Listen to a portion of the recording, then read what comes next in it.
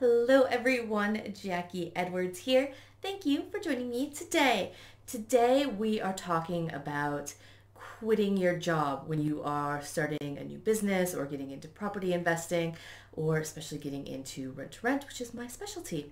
So this is a very, very common question again for anybody across a number of different businesses and you know you're making this big life change and you're like oh you know i really hate my job i can't wait to get out of it and it's taking so much of my concentration i just can't focus on you know my new side business so i'll just quit my old job because i know i can make my new business work if I don't have to worry about going to my old job and spending all my time and my brain power there, it's okay. I will quit and then I will make this new thing work. I want to urge caution when you do this. So, first of all, if you are interested in property investing, if you're looking to be able to buy properties with mortgages, quitting your job is generally not the best way to go about it.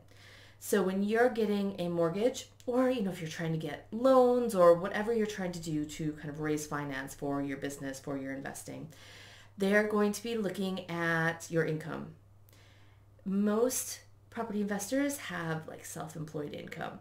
Or if you like me and you work through a limited company you pay yourself the minimum that you can to keep your taxes low. So your salary isn't very high. Or you're self-employed and for the first three years most lenders won't really even consider you because you haven't like have a track record of being self-employed. So if you've just quit your job you're going to struggle to get a mortgage for a property. So as a property investor, probably not the best thing to do to quit your job. It will really, really impact your lending um, ability. All right.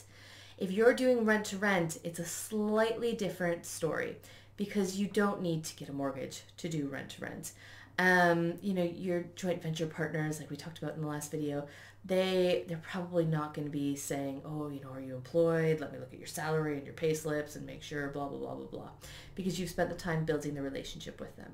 And that's why you go for private lending versus bank lending because banks will say, what's your employment? Let's tick all the boxes. Private lending, when you're building that relationship with that person, it's a bit more flexible. So you could consider leaving your job if you want to start your rent to rent business and you don't think you can do both at the same time.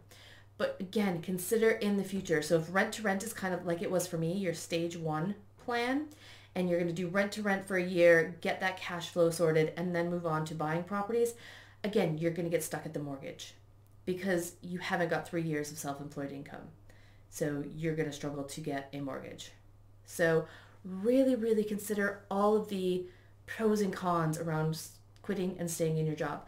Another thing that I find is if you've got more time, so now you've quit your job, you've got all this time for your side business, going to make it your main business, you find ways to fill that time that you really could have done in half or a quarter of the time.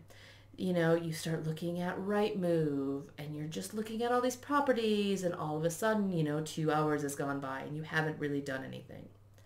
Whereas when you're working full time and you're trying to build your business, you don't have that much time. So you're really, really super specific and focused in those few hours that you do have a week. So I recommend if as long as you've got at least 10 hours a week, you're going to be able to build your property business on side alongside of your kind of full-time day job.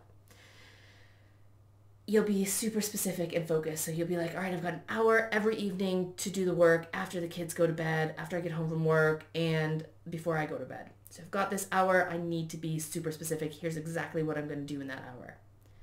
And you will get a lot more done. Other uh, if you're not saying, "Oh, well, you know, I've got all day today, so I'll just poodle about and do these couple bits and pieces here, and then all of a sudden it's eight o'clock at night and you're in the same situation and you've got an hour to do your your property business.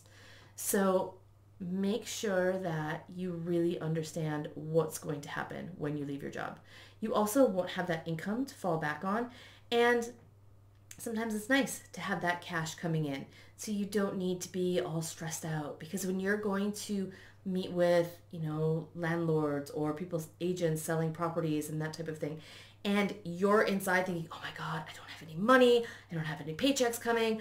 I'm really desperate. I really need this property. And then all that desperation is just like pouring off of you. That's not gonna, that, that, that other person is gonna tell. They're gonna feel those negative vibes and that desperation. And that, you know, landlord is gonna be like, mm, this person doesn't feel quite right. Or that agent, you know, selling the property is gonna be like, mm, person doesn't feel quite right. And they're gonna pick somebody else over you because they they're going to get that vibe. It's true, it happens. I have the same thing happen to me when I do viewings for tenants because I instantly turn into like desperation mode. I'm like, oh my God, I gotta fill this room. Desperate, desperate, desperate. I need this tenant. Please, please move in. And they're like running a mile, which is why I have somebody else do my viewings for me with tenants because I am not the person to do that. So you need to make sure you're in a place where you truly are comfortable that you don't need any extra money coming in that you've got space to build your business so that every time you meet a landlord or an owner or an agent, you aren't desperate. You aren't worried. You don't have to make it work in order to feed your family. So be very, basically, my advice is to be very, very cautious about quitting your job when you get started.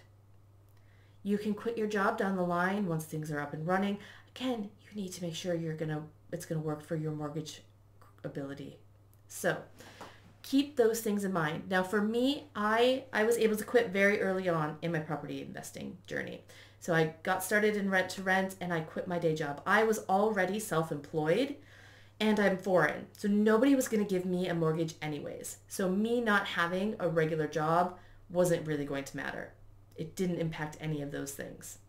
Now, I also had my boyfriend, my partner at the time, who was able to get mortgages. So he had a normal job. He, you know, could show all the credit worthiness and like the long-term job. So he would be able to apply for the mortgages. So if you've got somebody else in your life, you know, a, a spouse, a partner, you know, a family member, a joint venture partner that's happy to, you know, be your mortgage holder, a mortgage host and have the mortgages and, you know, raise any finance that needs credit referencing or jobs, then maybe that's a great partnership and you don't need to have your job. So it will depend on your personal situation, but make sure you're looking at all sides of it, all the pros and the cons of leaving your job. Because in the beginning, it can sound absolutely amazing. And that's what happened to me. It sounded great. I'm like, screw this accounting stuff. I'm getting rid of it. I don't need to do it anymore. I was like, I've got enough cash to, you know, get me through a year so I won't be super desperate. Everything's going to be fine. But what I found the problem was for me is all of a sudden I had all this time and I still wasn't getting very much done in the beginning.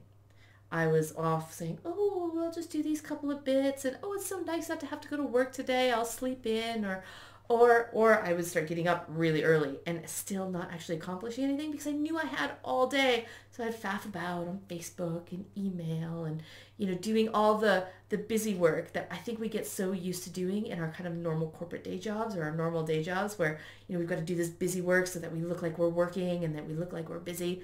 And you can't do that in your own business. Well, you can, but nothing really gets accomplished. So that happened to me and it I had to really pull myself back and set up some really strict structure within my day in order to make sure I actually got things accomplished and I was doing the right things that were going to move my business forward, not just doing all the busy work that looked like I was doing things. So hopefully you found that helpful. If you did, give this a like, give it a share with anybody that you think might need to hear this message, and make sure you come back next week for the next video. I will see you soon.